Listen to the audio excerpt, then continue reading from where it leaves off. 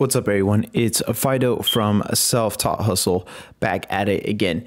And today I wanted to break a myth that software engineers are this entity that have this copious amount of knowledge and logic within their heads, essentially an encyclopedia of a code that they can just drop onto a text editor and build the next Facebook, right? Uh, that's quite literally not the case. The way that coders go about constructing applications is via a very simple process. You may have already used it before, and this is called a Google search. So, really, what it consists of is that whenever a coder runs into a problem or is curious about a piece of code, as you guys have actually seen in my Escaping Tutorial Hell series, they will go ahead and Google search whatever the curiosity or problem is.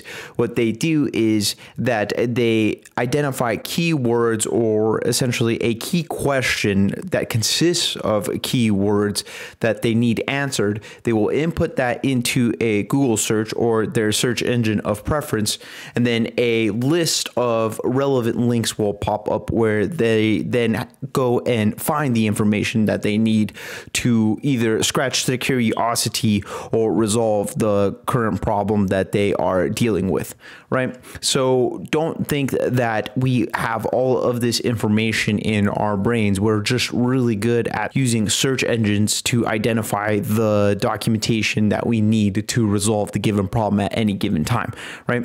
So it's really important to demystify that for you guys so that you don't think that we actually have these a copious amount of libraries in our head of all this, you know, all these different languages and stuff. No, I mean, you'll see me oftentimes. I did it on the authentication application where I, I Google search something right off of, you know, I think I was just Google searching basic HTML in, uh, in that app. Uh, but yeah, I mean, that's that's I don't I, I don't have that off of memory. So you know, go ahead and use a search engine when you need it because it'll be one of your best friends when it comes to coding. That's all I had to say today, and I will see you guys next time.